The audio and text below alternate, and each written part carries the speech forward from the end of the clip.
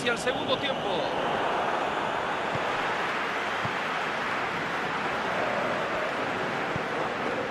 Coutinho.